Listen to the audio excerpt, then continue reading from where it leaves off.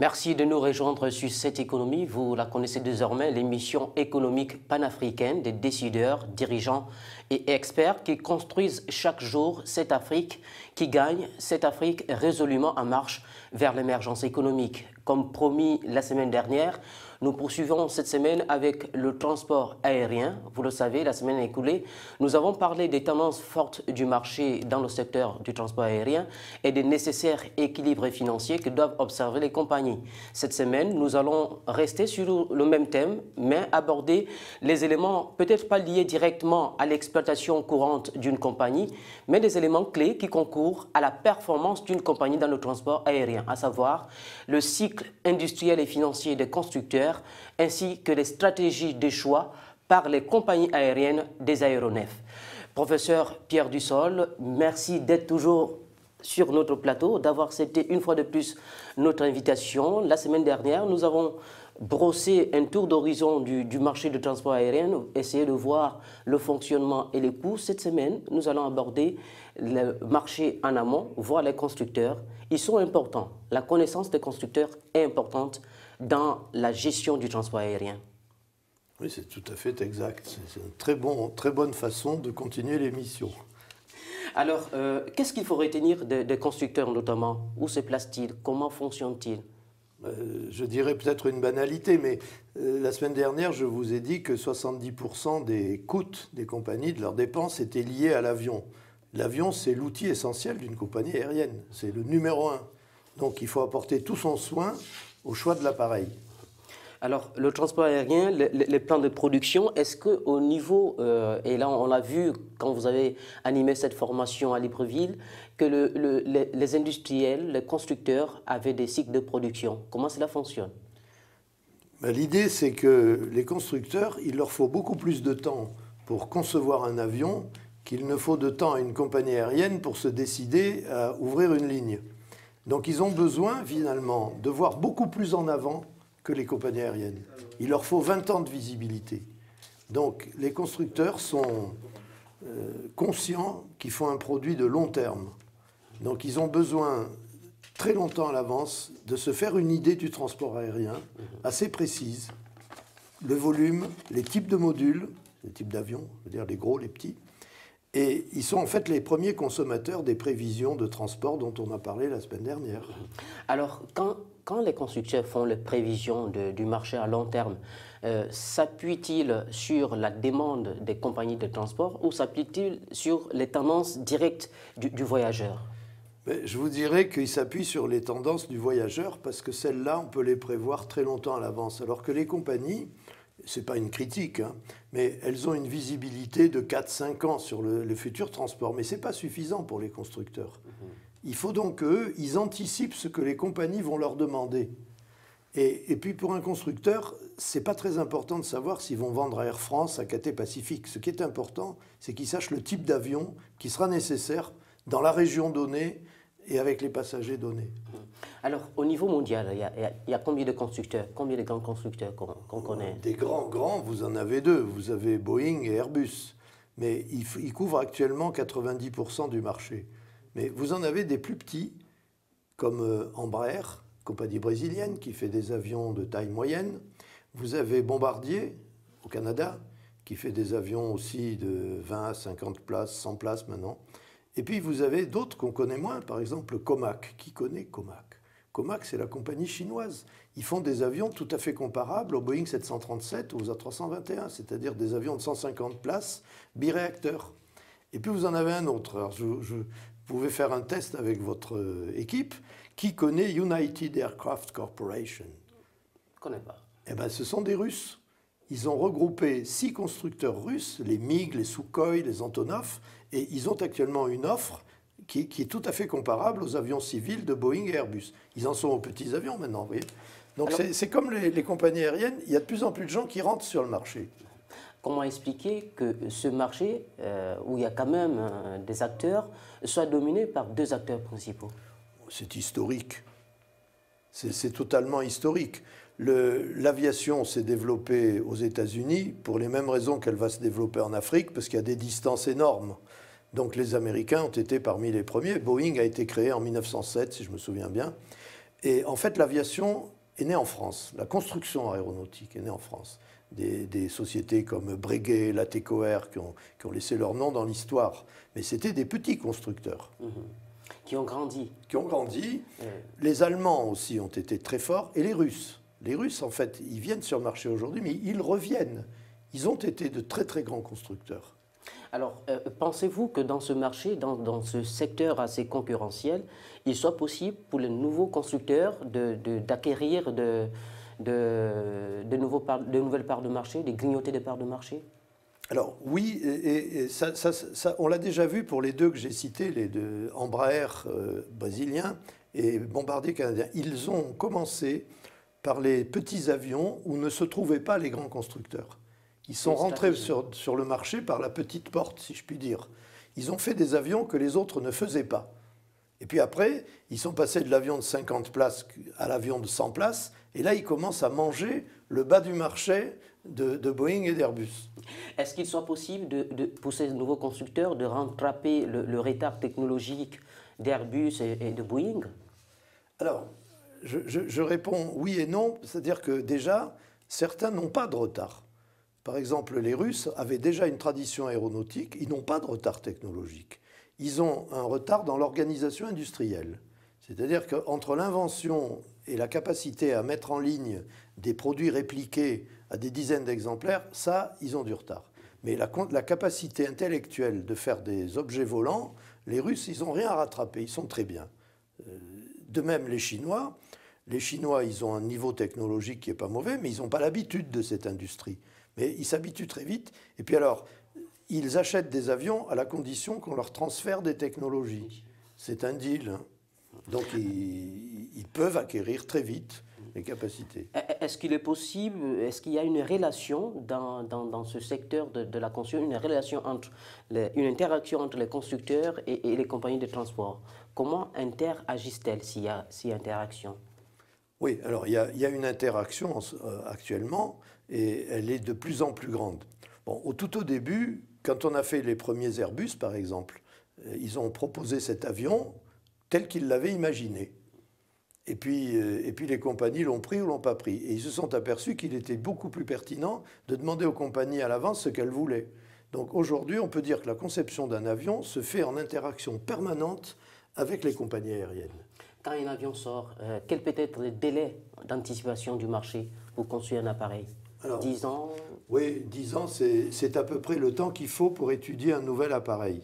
Alors, il, faut distinguer l'appareil complètement nouveau, c'est-à-dire qui n'existait pas, d'une version modifiée. Par exemple, la version allongée de l'Arbus A320, ça fait le 321. La version raccourcie, ça fait le 319. Ça, il ne faut pas énormément de temps. Par contre, si vous ne fabriquiez pas un certain type d'avion, par exemple les, les, les monocouloirs Airbus n'en fabriquaient pas, ils ont commencé par des gros avions, et passer du gros avion au petit avion, là, ça a pris plus de 10 ans d'études. Donc concevoir un nouvel appareil, ça prend au moins 10 ans. Après, si vous voulez gagner du temps, vous reprenez des éléments qui sont déjà contenus dans les autres appareils. Alors, l'adaptation de, des appareils aux lignes en Afrique, il n'y a pas encore d'usine de, de, constructeurs, on, va le dire. Il n'y a pas encore de constructeurs. Alors, comment font les compagnies euh, pour se doter ou s'équiper en avion? Euh, Là, sur ce point précis, les besoins sont les mêmes partout. C'est-à-dire, il faut des avions qui aillent d'un point à un autre avec un certain coût de fonctionnement. Et ça, en cela, l'Afrique n'est pas différente du reste du monde. Mhm. Donc elle peut s'approvisionner ailleurs. Si elle en, Afrique, il y a des constructeurs qui se révèlent, il y, a, en Afrique un potentiel technique dans certains pays. Peut-être qu'un jour, il y aura des constructeurs. Alors, comment se font euh, souvent, comment fonctionnent les compagnies africaines On parle de, système de location, de, leasing. Euh, expliquez-nous un peu ce marché, comment il marche. Alors, là, vous faites allusion au, mode d'acquisition de la propriété de l'appareil. Hein. Là, on parlait de la conception, maintenant on en est à l'achat. Bon, on peut acheter un appareil en pleine propriété.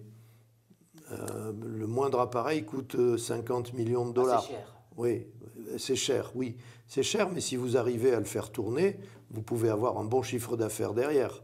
Donc la notion de cher, oui, il faut sortir beaucoup d'argent d'un coup, ça c'est vrai. Par exemple, le, catalogue des prix, vous le trouvez sur euh, le site internet des constructeurs, ça va de 70 millions de dollars pour les petits avions de 100 places à 400 millions de dollars pour les plus gros. Bon, si vous achetez une flotte de 10 avions à 400 millions de dollars, il faut sortir 4 milliards de dollars. C'est cher. Le, donc là, ben, il faut avoir, mettre en place des financements comme de n'importe quel investissement, donc avoir des actionnaires et des banques. Et si vous ne voulez pas acheter, c'est comme un particulier qui ne peut pas se payer sa propriété, son logement, il va être locataire. Et là, en effet, il y a des sociétés comme ILFC, qui est une grande compagnie de leasing, elle achète des, des flottes et elle les loue.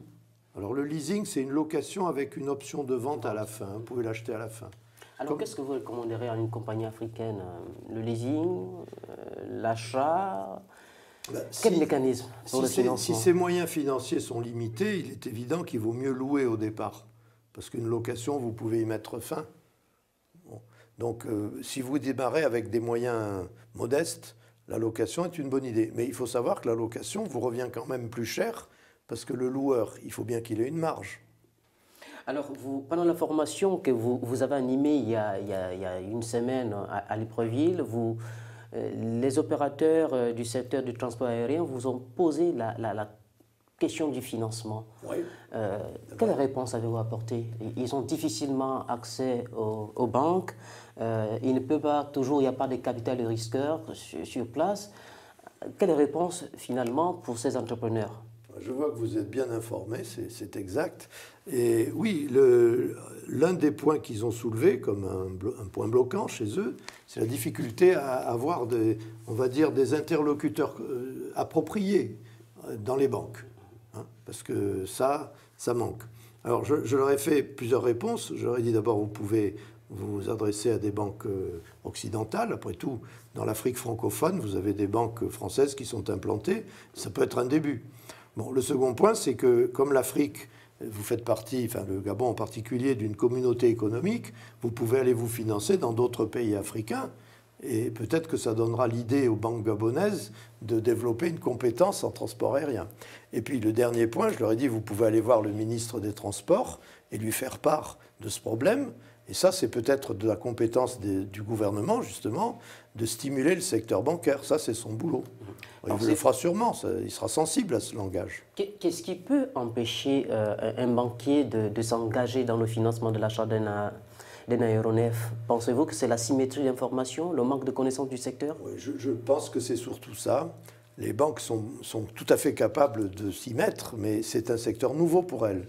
Euh, l'aéronef, c'est quelque chose de particulier c'est pas un meuble, c'est pas un immeuble, donc ça rentre pas dans les cases habituelles de la profession. Donc en France, par exemple, il y a une banque qui a développé une compétence de financement RN, mais les autres ont suivi après. C'est pas évident. C'est pas évident. Euh, Qu'en est-il de, l'assurance, par exemple euh, Est-ce que, à ce niveau aussi, les, garanties en termes d'assurance, en termes de police d'assurance, peuvent aider euh, les banques à, soutenir les opérateurs euh, du secteur aérien? Ah oui, ça, incontestablement, la banque et l'assurance sont deux volets de la même euh, problématique, comme on dit. Hein, ça, c'est certain. Alors, professeur Dussol, les compagnies aériennes, du moins au, niveau de l'Afrique, au niveau du Gabon, veulent se structurer. les types d'appareils, souvent, et là on voit, on parle de, de, de liste noire, liste noire. Pensez-vous que euh, les aéronefs qui, volent de manière globale au niveau de l'Afrique euh, ne présentent pas pour certains types de compagnies des conditions suffisantes de sécurité? Euh, Comment ça fonctionne à ce niveau? Alors, ce n'est pas tellement une opinion que je peux vous donner, c'est simplement le résultat de ce que observent les autorités de contrôle. Je ne peux pas parler en termes de compagnie, mais il y a certains appareils, c'est vrai, qui ne sont pas aux standards de sécurité. Les entretiens ne sont pas faits assez fréquemment. Et, donc, euh, les autorités de contrôle ne, les acceptent pas en atterrissage sur les aéroports européens. Ça, ça arrive en Afrique. Il n'y a pas qu'en Afrique, d'ailleurs. Vous savez, des compagnies asiatiques, moyen-orientales, euh, de l'Europe centrale, qui sont sur la liste noire aussi. ça, ça, peut arriver. Est-ce que cela influence de beaucoup la performance des compagnies? Cela peut influencer le regard qu'ont les opérateurs, les banquiers quant à l'avenir de ce secteur? Ah ben oui, clairement. Une compagnie qui est sur une liste noire et qui va demander de financer une flotte. On va lui dire, mais comment allez-vous exploiter vos avions? On va lui dire, vous ne pouvez pas atterrir en Espagne, vous ne pouvez pas atterrir en Italie. Euh, donc ça, compromet votre développement. Donc il y, a en effet un effort à faire. Euh, à, ce niveau-là, euh, est-ce qu'il y a une relation entre le choix d'un aéronef, le choix d'un type d'avion et la ligne qu'il faut développer? Ah oui, ça, absolument. Comment cela fonctionne? Comment euh, cela se fait-il? Il faut déterminer ce qu'on appelle le module. C'est-à-dire, est-ce qu'on prend un avion de 150 places ou est-ce on prend un avion de 150 places Est-ce qu'on prend deux avions de 150 places? Ah, Ça fait 300 passagers. Mais 300 passagers, on peut peut-être acheter un appareil de 300 places. Et ce n'est pas équivalent. Et, donc, euh, les compagnies vont déterminer combien il y a de passagers à transporter mais également si les passagers ont une préférence pour des vols fréquents. Par exemple, il vaut peut-être mieux mettre deux vols par jour avec 150 passagers qu'un seul vol avec 300, parce que ça donne plus de choix d'horaire. Et ça, ça s'analyse en allant enquêter les passagers. Donc quand on a la réponse à cette question, on sait quel module d'avion on va acheter. Bon, après, il y a évidemment, mais ça c'est clair, le rayon d'action. Si vous avez à faire une étape de 12 000 km, vous allez prendre un avion qui peut franchir 12 000 km. Ça, c'est facile. Ce qui est plus difficile, c'est le module. Le module. Et pour les, compagnies nationales gabonaises, euh, c'est à l'intérieur de l'espace du Gabon, euh, quel serait le choix approprié? Quel serait selon vous le type d'appareil approprié pour des petits pays? Ben, il y a peut-être plusieurs réponses, mais il existe des avions de transport dits régional c'est-à-dire qu'ils ont des rayons d'action de jusqu'à 600 km. Donc il est très clair que si vos distances sont inférieures à 600 km, vous allez acheter des petits avions, ils sont moins chers. Et je pense à des ATR par exemple, ou à des Fokker, euh, ou des, bombardiers.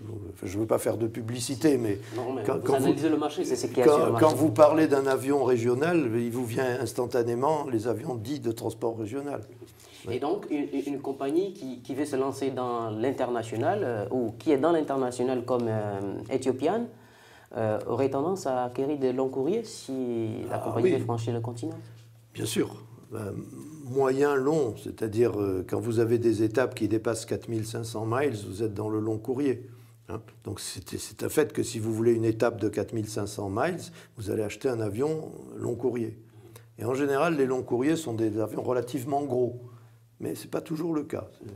Alors comment se fait souvent les, plans financiers au niveau des constructeurs Alors les constructeurs eux-mêmes, ils, font comme tout le monde, c'est-à-dire qu'ils font une mise de fonds au départ, et ils font des études, ils font une pré-industrialisation, ils font la certification de l'appareil, ils forment leurs mécaniciens, ils constituent les outillages, ils construisent parfois de nouvelles usines où ils agrandissent les enseignes. Tout ça, pour vous donner une estimation, pas une estimation d'ailleurs, euh, le chiffre, l'A380, on avait prévu 10 milliards de dollars. Ça représente euh, le prix de 40 avions, à peu près, de 80 avions. 10 milliards de dollars. Après, euh, on s'est aperçu qu'on n'avait pas tout prévu et on est arrivé finalement à 14 milliards de dollars. Donc ça veut dire qu'après, il faut récupérer cet investissement grâce aux marges qu'on fait en vendant chaque avion. Et là, il y a une question, il faut atteindre un seuil de rentabilité, il faut en vendre suffisamment.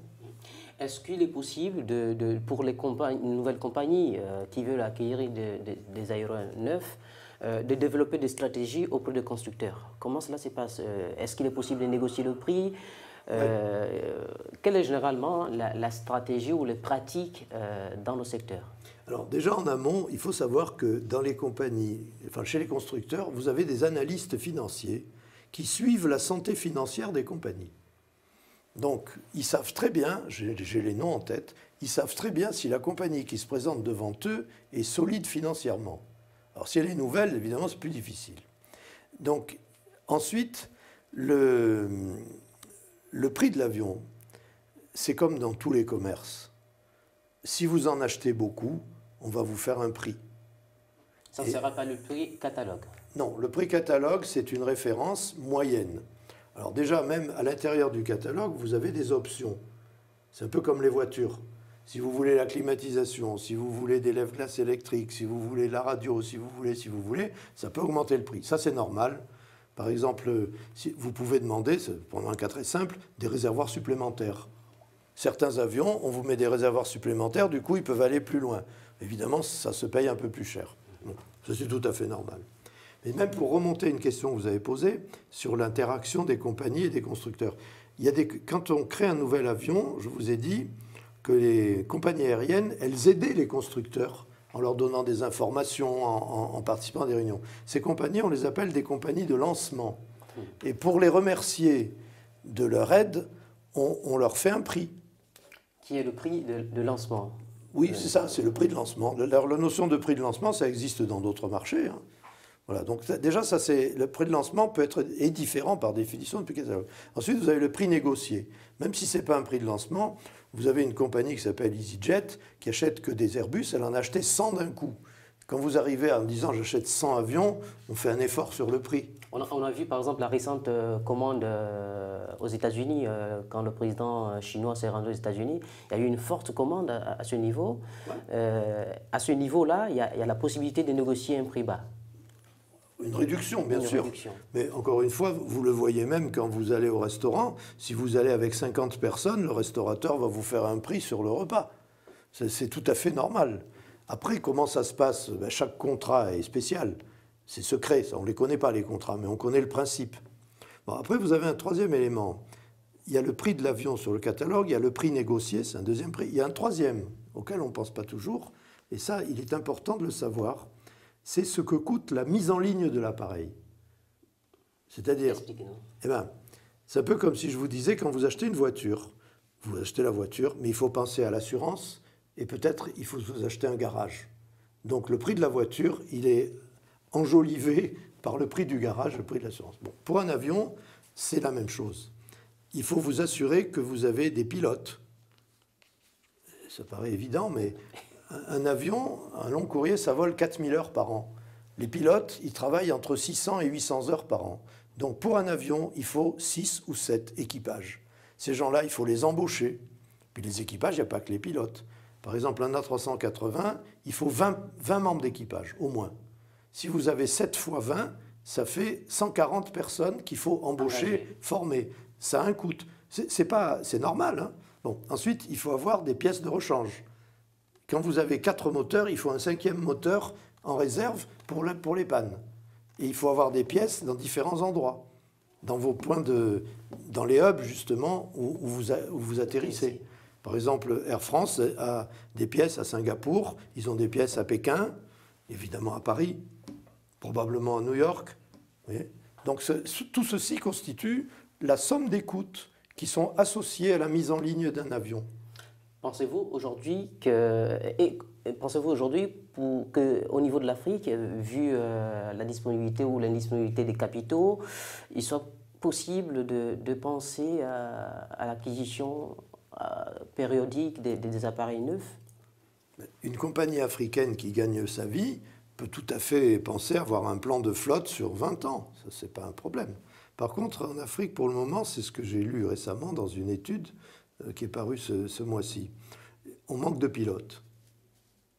On, dit, on dit qu'on manque de pilotes. Il faudrait 18 000 pilotes dans les 20 prochaines années. c'est sûrement exact, l'ordre de grandeur, mais on ne dit pas, mais c'est associé aux pilotes, qu'on manque aussi de mécaniciens. Parce que quand vous avez un pilote dans l'avion, vous avez trois mécaniciens au sol, et les mécaniciens font partie des personnels compétents qu'il faut absolument avoir. Il faut aussi des hôtesses, des stewards. Donc tout ce personnel associé est en effet un facteur bloquant. Que faut-il faire? La formation toujours? Ah oui, ça c'est clair.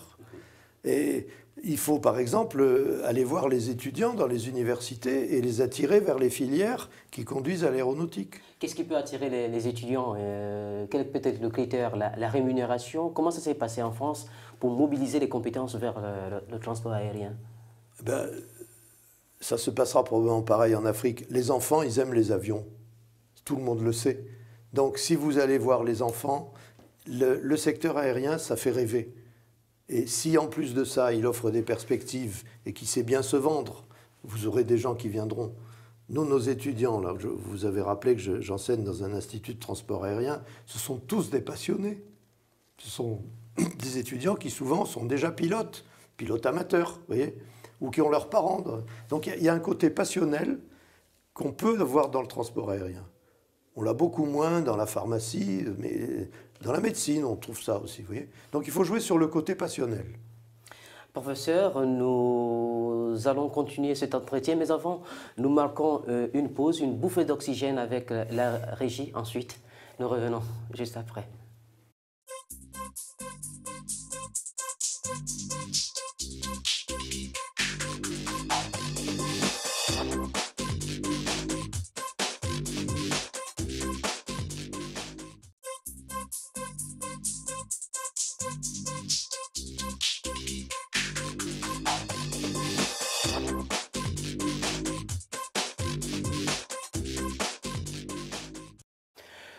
Merci toujours d'être de nous. Vous êtes sur cette économie et là, nous abordons un thème important, l'avenir euh, de l'Afrique, l'avenir émergent de l'Afrique va se jouer aussi au niveau du, du, transport aérien. Et avec le professeur du sol, nous essayons de comprendre comment va fonctionner ce secteur, quels sont les facteurs pour une meilleure dynamisation du transport aérien. Nous étions en train d'aborder euh, la question relative aux constructeurs et nous voyons l'interaction entre les constructeurs et les transporteurs. Professeur, il y a aussi la question du, programme de cash flow, de, la rentabilité chez les constructeurs. Est-ce que cela influence beaucoup la, livraison des appareils en aval? Oui, enfin la livraison, ça, influence la chaîne, la chaîne, de production, enfin tout, le, tout le système. Par exemple, euh, vu les sommes en jeu que j'ai citées à l'instant et la longueur des délais, il est essentiel d'alimenter le cycle financier, c'est-à-dire de trouver de l'argent le plus vite possible. Alors quand on lance un avion, on n'a pas encore de clients, et là, il faut utiliser les profits des avions précédents. C'est pour ça qu'il est difficile de devenir un constructeur, parce que pour investir, il faut déjà avoir gagné de l'argent. Donc Boeing, par exemple, ils ont investi dans le Dreamliner parce qu'ils gagnent de l'argent avec le 747. Et Airbus, il a investi dans la 380 parce qu'il a gagné beaucoup d'argent. Il continue avec la série des A320. voyez? Donc ça, c'est la première réponse. Ils ont déjà de l'argent précédent. Mais ça, c'est pour les constructeurs historiques. Ensuite, il y a le cycle. Quand vous lancez un avion en fabrication, vous commencez à dépenser de l'argent 4 ans avant la livraison. Énorme. Parce que l'assemblage de l'avion, ça prend 3-4 mois. Mais avant d'assembler l'avion, il faut avoir acheté les moteurs, il faut acheter les métaux pour euh, faire la, coque. Il faut commander des ailes. Les ailes, les voilures sont fabriquées dans d'autres pays. Donc, vous commencez à payer. Vous payez vos ouvriers à la fin du mois. Hein. Donc, chaque mois, vous dépensez de l'argent. Donc, ça, c'est aussi à prendre sur de l'argent qu'on a soit emprunté aux banques, soit pris dans nos bénéfices précédents. Alors après, quand vous êtes à la dernière phase, neuf mois avant la livraison, c'est comme les enfants. Les compagnies qui ont signé la commande vont vous verser 25% du prix de l'avion en préfinancement. C'est les conditions. Ensuite, six mois avant, c'est les conditions standards. Après, on peut négocier. Six mois avant, encore 25%. Trois mois avant, 25%. Il reste 25% qui sont versés à la livraison. Si l'avion est reconnu bon, c'est-à-dire s'il n'y a pas des réserves sur la qualité de l'appareil. Et là, les compagnies arrivent avec des spécialistes, des pilotes et des mécaniciens, elles vérifient l'avion en présence du constructeur. Et à l'extrême limite, elles peuvent dire je ne le prends pas parce qu'il n'est pas bon. Donc ce jour-là, si c'est bien, 25%. Donc ça fait ce qu'on appelle un préfinancement de livraison. Alors ça, c'est vrai maintenant parce que les compagnies ont besoin d'avions. Les questions ont besoin d'avions. L'Afrique, euh, l'avion coûte cher. Et au niveau de, de, l'Afrique, c'est essentiellement c'est le, leasing. Il y a quelques compagnies sud-africaines qui sont spécialisées euh, dans, dans, la location des avions. Euh, expliquez-nous un peu comment fonctionne la location au niveau de, le, secteur de la location des avions. Déjà, pour vous rassurer, il y a certains pays africains qui ont assez d'argent pour investir dans des avions. Hein, heureusement. Votre pays n'est pas un pays pauvre de ce côté-là. Et il y a d'autres pays, vous avez cité l'Afrique du Sud, il y a des ressources quand même. Mais alors, je réponds plus précisément à votre question sur la location. Vous avez des professionnels, souvent ce sont des banques d'ailleurs, qui rassemblent de l'argent et qui achètent des flottes d'avions. Et le plus gros acheteur d'avions, en fait, dans le monde, ce n'est pas une compagnie aérienne, c'est un loueur d'avions. Ah. Il s'appelle ILFC. Alors je ne sais pas exactement ce que ça veut dire, International euh, Leasing euh, Financial et donc, Company. Est spécialisé dans l'achat. c'est son, métier. C'est son métier. Ça, existe dans d'autres secteurs. Hein. Dans les travaux publics, les grues, les tracteurs, les bulldozers peuvent être financés comme ça. Donc cette compagnie est le plus gros acheteur d'avions. Il, a un stock, si j'ose dire. Il, il, lui arrive même d'acheter l'avion à la demande d'une compagnie qui lui dit vous l'achetez et le jour où vous l'aurez, je vous le louerai. Et, là, on voit aussi que parfois, euh, il y a des locations de, du PNC, euh, du PNT, personnel technique. oui, alors là, vous rentrez dans des finesses, c'est exact d'ailleurs. Quand vous louez un avion, vous pouvez, c'est comme quand vous louez une voiture chez un loueur de voiture. Vous louez une voiture, vous, avez votre permis de conduire, vous allez la conduire. Dans des avions, c'est pareil, ça s'appelle le dry lease, vous, le leasing sec. Vous, vous louez un appareil, point. Après, vous vous débrouillez pour trouver des pilotes, pour l'assurer, hein, pour l'entretenir, bien sûr. Alors, vous pouvez faire autrement. Une autre forme de leasing, c'est ce qu'on appelle ACMI, c'est le sigle anglais qui veut dire euh, vous louez l'avion, l'équipage, la maintenance et l'assurance. Donc, en fait, vous, vous achetez des heures de fonctionnement de l'avion à un loueur qui fait tout. Il vous fournit les pilotes, il vous fournit l'entretien. C'est beaucoup plus cher, bien sûr mais ça ne vous oblige pas à former des pilotes et à avoir des équipes de mécaniciens. Ça, c'est à vous de choisir. Alors, euh, Et puis, pardon, on peut utiliser simultanément toutes les, formules. Par exemple, euh, pour prendre la compagnie Air France, ce n'est pas du tout un secret. Ils ont une flotte d'avions en pleine propriété. Ils ont à peu près 600 avions. Mais quand ils ont besoin, ils en louent. Et quand vous avez une super urgence, vous louez avec les pilotes. il y a différentes couches. Alors, euh, au niveau du Gabon et, bien d'autres pays euh, de la sous-région, il, y, a des compagnies, euh, on va dire, de luxe, notamment le jet. Est-ce que c'est un, type de marché particulier? Un type, ça, fonctionne avec le même constructeur? Comment ça marche? En général, l'aviation de luxe, c'est des avions plus petits. Ça, c'est clair. Mais c'est ce qu'on appelle un marché de niche. Vous voyez, c'est un petit marché. Il peut être très rémunérateur. Bon, donc les, en fait, n'importe qui peut acheter n'importe quel avion. C'est une question d'argent. Par exemple, les, émirs du Moyen-Orient, ils achètent parfois des avions de 100 places, 200 places, ils sont tout seuls dedans. C'est leur droit, hein. il n'y a rien à dire. Bon, l'aviation d'affaires, plus classique, c'est généralement des avions plus petits, par exemple les Falcon de Dassault, des avions de 12 à 15 places, jet, ou pas. Hein, et ça, c'est un petit marché qui est à côté, si j'ose dire et qui est destiné à, qui, à quel type de clientèle est destiné? Les hommes d'affaires, les, décideurs du monde politique? Oui, vous avez essentiellement des hommes d'affaires et aussi des sportifs, des, acteurs, des gens de cinéma, vous voyez. C'est une question d'argent, hein. d'argent et d'urgence. Quelqu'un qui doit se déplacer très vite sans avoir euh, la contrainte des horaires des compagnies régulières, il peut posséder son avion. Ou alors encore, vous avez trois entreprises, par exemple, qui ont un avion en poule en commun elle l'utilise en même temps.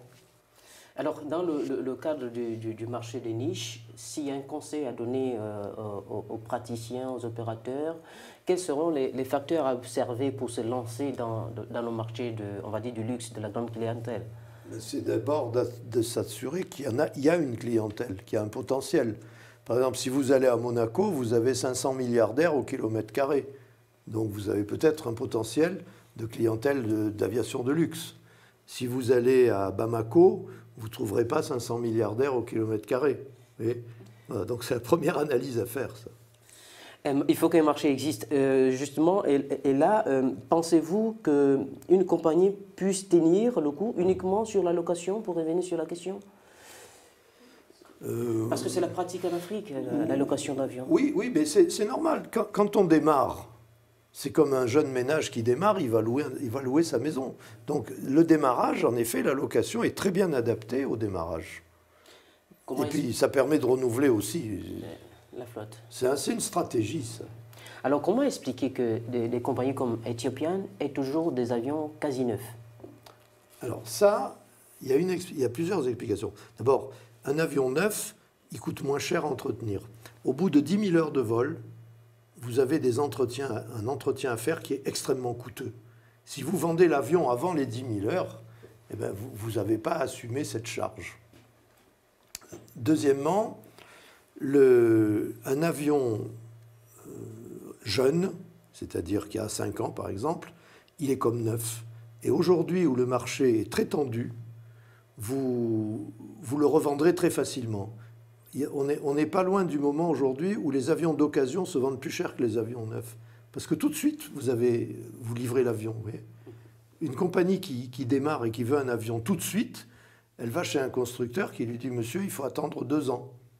Alors elle préfère aller acheter un avion d'occasion à une compagnie existante.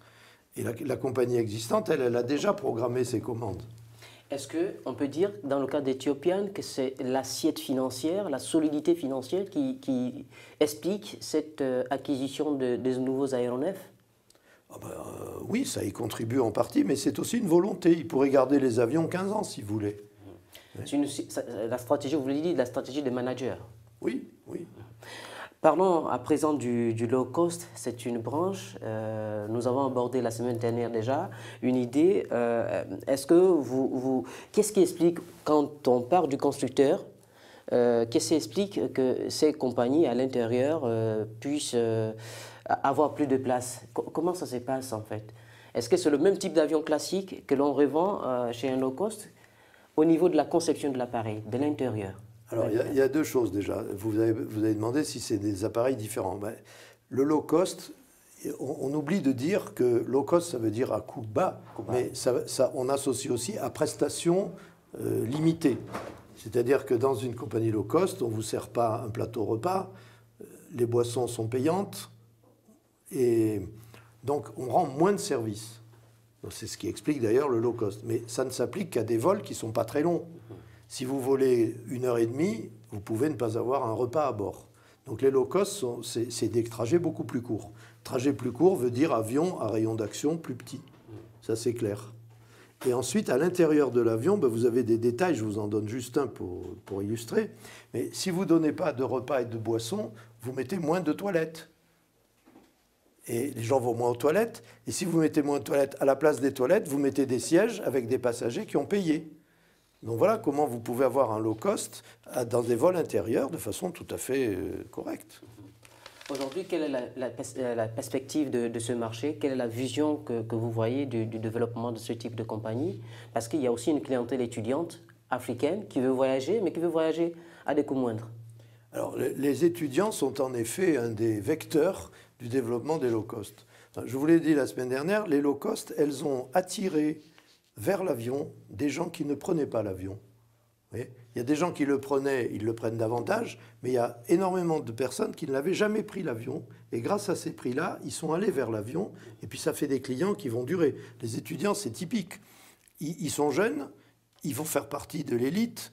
Ils vont donc être des clients pour 40 ans, jusqu'à la fin de leur vie. Donc c'est une très bonne entrée euh, que d'avoir des low cost. Alors, euh, chez les téléspectateurs, vous, le savez, euh, on essaye euh, pendant cette émission de décortiquer le marché du transport aérien, mais en voyant, en regardant le côté transporteur.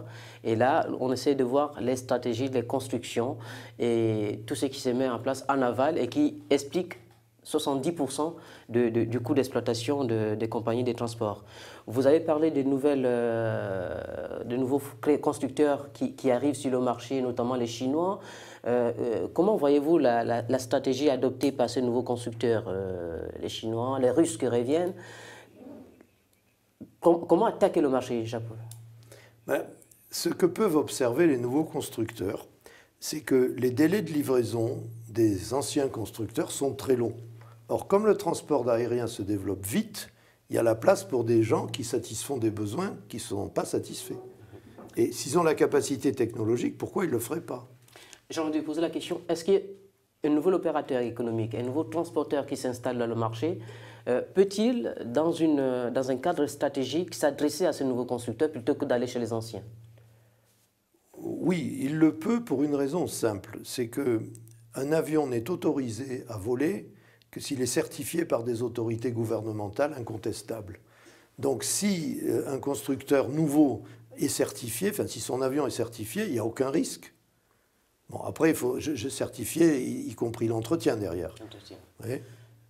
Aujourd'hui, euh, c'est un secteur qu'on ne voit pas. Vous allez parler tout à l'heure du manque de potentiel, donc de la, main-d'œuvre, les compétences, euh, les compétences au sol. Est-ce que vous pensez aussi que en dehors de ça, pour, là où il n'y a pas de centre comme à, comme à Libreville, il faut penser à la, à la création, à la formation en interne? Oui, euh, incontestablement, euh, c'est plus simple de former des gens qu'on a déjà sous la main. Donc euh, oui, la formation interne, c'est une bonne piste. Ce n'est pas la seule, mais c'est une très bonne piste. Alors, vous, avez participé à la formation. Devant vous, il y avait des, préoccupations spécifiques à l'entretien des aéronefs, à, la formation, à ces avions. quelle tendance avez-vous décelé en termes d'acquisition? Quels sont les types d'avions que, que, que, qui ont été acquis par les, participants à, cette formation Les participants à cette formation, c'était des, ils venaient de compagnies relativement régionales. Donc euh, le type d'avion qui les intéressait le plus, c'était les avions régionaux. mais ça, c'est aujourd'hui. Peut-être qu'après, oui, je vois que les ATR, vous pensez, oui, bien sûr. Mais à, ce niveau, est-ce qu'il n'y a, a, pas aussi euh, un dilemme pour ces, compagnies? D'un côté, euh, l'obligation, quasi certaine d'acquérir des ATR parce qu'on fait du régional, mais de l'autre, euh, les exigences des clients qui, veulent plus de confort. Est-ce que cela est-il compatible aujourd'hui? Bah, Disons que vous pouvez, si, vous faites des lignes courtes, le, confort est moins important. Mais en effet, mais ils vont évoluer. Une flotte, ça vit, ça, ça meurt, ça se renouvelle. Euh, et, et, les gens qui ont un ATR aujourd'hui, dans 5 ans, ils auront peut-être 2 à 320. Quelle est la durée de vie euh, moyenne? On sait que par exemple pour les PME, pour prendre le secteur des petites et moyennes entreprises, avant de dépasser la zone critique, il faut 5 ans. Quelle durée de vie faut-il dépasser à une compagnie, pour une compagnie aérienne pour euh, désormais s'estimer hors de, la zone fragile? Ben, C'est pareil, c'est de quelques années, mais c'est surtout, il faut avoir une pérennité des marges. D'ailleurs, nous, on parle de résultats récurrents. Si vous dégagez un résultat récurrent, même pendant 3 ans, il y a toutes les chances que 4-5 ans, ça marche aussi. Donc c'est plutôt le, fait qu'il faut que vous puissiez vivre avec un résultat récurrent. C'est-à-dire gagner de l'argent en, vendant votre service. Alors, nous allons marquer une dernière pause pour aborder la, dernière question. Faut-il louer ou, emprunter? Faut-il acheter euh, Le marché, l'avenir de l'aviation civile en Afrique? Toutes ces questions, nous allons l'aborder avec le, professeur euh, Dussol tout à l'heure, mais avant, une boussole d'oxygène avec la rédaction, la régie, autant pour moi, et on se retrouve juste après.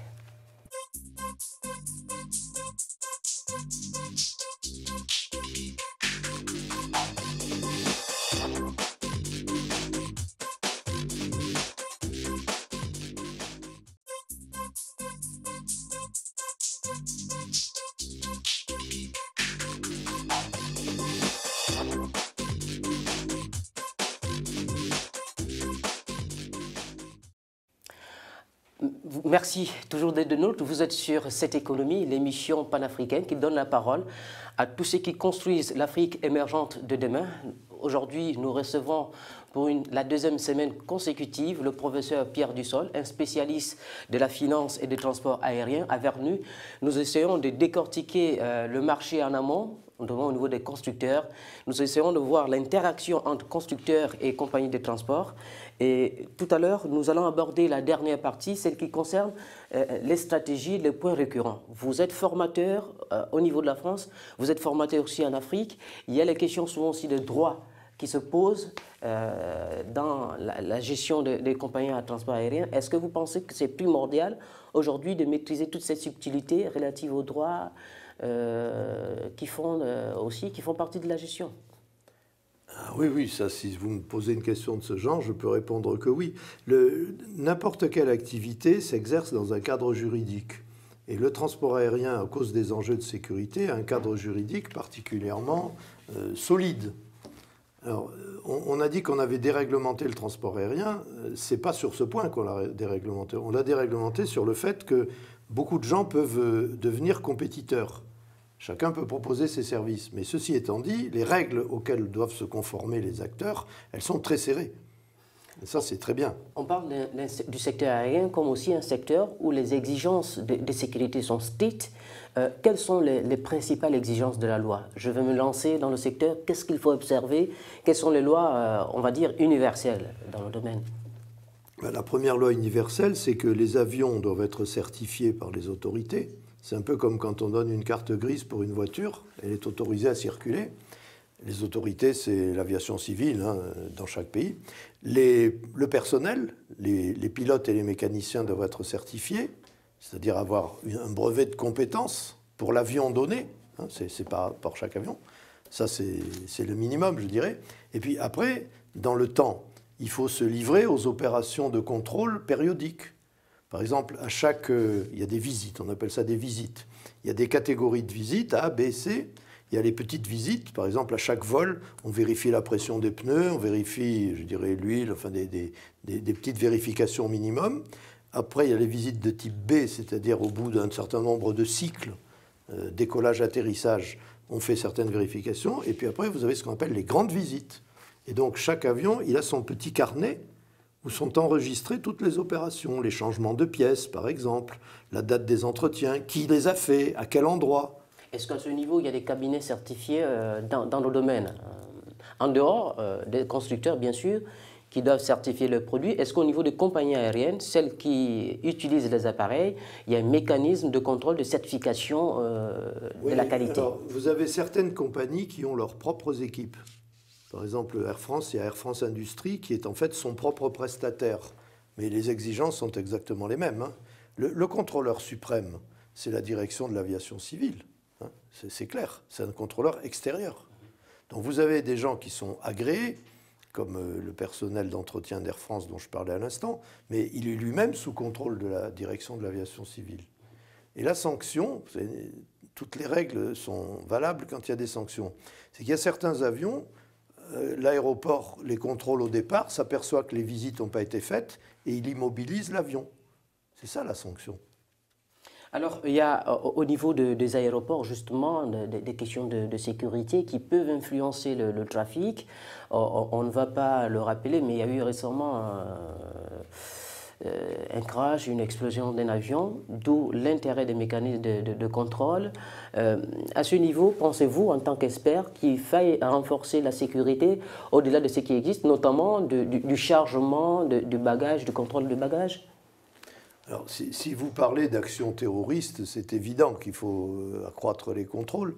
Mais si vous parlez d'incidents, je dirais, internes, bah, l'observation des règles de sécurité est en général largement suffisante. Par contre, de temps en temps, on s'aperçoit qu'on avait oublié quelque chose. Et chaque incident nous apprend quelque chose. Et très souvent, je dirais, on perfectionne les règles à l'occasion d'un accident. on aurait pu l'éviter, mais on n'y avait pas pensé. je pense par exemple aux, sécurités dans la fermeture des portes. il a fallu qu'il y ait certains accidents pour qu'on se rappelle qu'il fallait peut-être euh, ajouter une sécurité. Malheureusement, hein, mais c'est souvent les accidents qui nous apprennent.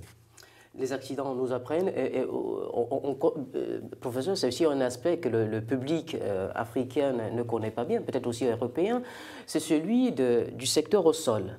Alors là, on a des compagnies qui ne sont pas des compagnies de transport, mais qui assurent ces services-là. Comment ça, fonctionne entre les transporteurs et ces compagnies qui font de hardling alors, les, compagnies qui sont au sol, ils, sont tout simplement, ils ont un contrat commercial de, service. Par exemple, les gens qui font, comme vous dites, la manipulation des bagages, le handling, ou les gens qui vérifient les pneus, qui font le ravitaillement de carburant, ce sont des contrats qui comportent des prestations claires. Et euh, après, les prestataires sols des aéroports, normalement, sont des gens aussi qui sont qualifiés, qui ont une certification. Est-ce qu'à ce niveau, il y, a, possibilité, euh, on l'a vu, vous l'avez dit euh, au, niveau de, lors de la formation, qu'il est possible que l'acheteur, celui qui transporte, veille au, délai, à la capacité de l'avion de, marquer un temps précis dans les aéroports et de, décoller. Est-ce que cela est intégré?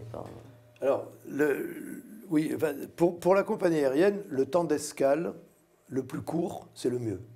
Il faut que l'avion vole. Donc, on essaie de réduire le temps d'escale. Mais il ne faut pas le réduire euh, trop. Déjà, il faut que les passagers embarquent, il faut pouvoir mettre le carburant, il faut faire les entretiens. Donc, on essaie de réduire les temps d'escale, ça c'est clair. Et il y a une limite. Hein. Il faut que les freins puissent se refroidir, il faut un certain nombre de choses. Et donc, cela doit faire partie des cahiers des charges qu'un transporteur doit regarder quand il fait l'acquisition d'un aéronef. Oui, d'ailleurs, euh, dans les questions qui sont discutées avec les constructeurs, entre les constructeurs et les compagnies, il y a est-ce que l'avion peut être euh, traité en escale pour une donnée, un temps donné? Par exemple, le constructeur va, on va lui, la compagnie va lui dire, il faut que cet avion, je puisse euh, le traiter en une heure. Est-ce que vous pouvez me donner un avion comme ça? Professeur, on va, on va aborder les, dernières questions, mais sous forme de conseils aux opérateurs économiques. Un opérateur économique veut acheter un avion. Quels paramètres regarder? Je vais faire du transport. Qu'est-ce que je dois regarder? Eh bien, disons, vous partez de vos besoins. oui, partez de vos besoins il faut un avion de quel rayon d'action, de quelle taille, et compte tenu du prix que je peux faire payer le billet, quels sont les coûts d'exploitation que je peux assumer? C'est simple. J'opère euh, sur une ligne, qu'est-ce qu'il faut regarder au niveau de l'aéroport? Quels sont les coûts sur lesquels je dois porter mon attention? L'aéroport, lui, vous fait payer la touchée. Quand vous touchez la piste, c'est temps. Ça s'appelle une touchée il vous fait payer ou pas le stationnement. D'où l'intérêt d'avoir des escales courtes. Il vous fait payer éventuellement d'autres prestations. Par exemple, s'il faut pousser l'avion pour le faire retourner. Ça s'appelle le pushback. L'avion, il arrive le nez comme ça, et après, il faut le tourner. Donc, ça, ça, paye tout ça. Alors, c'est à vous de, voir euh, ben, si, l'aéroport où vous allez, il a des prix acceptables. Euh, quel conseil aujourd'hui, et ça va être peut-être la, dernière préoccupation, quel conseil donner aux opérateurs économiques? Déjà, quelle analyse faites-vous du marché et quel conseil donner aujourd'hui à ceux qui se lancent dans le transport aérien? S'ils le peuvent, c'est d'observer les autres, de voir comment les autres ont fait. Par exemple, nous, nous avons recueilli l'expérience de certains de nos étudiants qui travaillent dans des compagnies aériennes. Donc, ils nous disent comment ça se pratique. La pratique, ça peut se transmettre par l'expérience. Il faut surtout il faut regarder les autres. Ça ne veut pas dire les imiter, mais ça veut dire tirer des leçons de leurs expériences. Et dernière question, si l'avenir de l'Afrique, selon vous, comment voyez-vous cet avenir? C'est une grande question. Hein. Je vois un bouillonnement. Les projections en termes de, chiffre d'affaires, de, de, recettes euh. Alors, si vous voulez, euh, D'autres que moi ont fait des études. L'Afrique représente 3% du marché euh, aérien. Dans 30 ans, elle représentera le double. Ça, oui, ça veut dire que dans un marché qui lui-même va augmenter, qui va doubler, l'Afrique doublera sa part. Ça veut dire qu'elle va se développer quatre fois plus vite que la moyenne du marché mondial. Ça, c'est une réponse que je peux vous donner. C'est une opportunité d'affaires. Ah, certainement. Merci, euh, professeur Dussault, d'avoir euh, accepté notre invitation pour la deuxième fois. Sauf si vous avez euh, un mot, un dernier mot à lancer à l'endroit des Africains qui vous suivent. Je vous dirais ce que disait un économiste européen du XVIe siècle. Il disait Il n'y a de richesse que d'hommes. Donc formez les hommes. Former les hommes pour être compétitifs sur le marché du transport aérien, voilà le mot final du professeur Dussault. Merci de nous avoir suivis et à très bientôt pour un nouveau numéro de cette économie.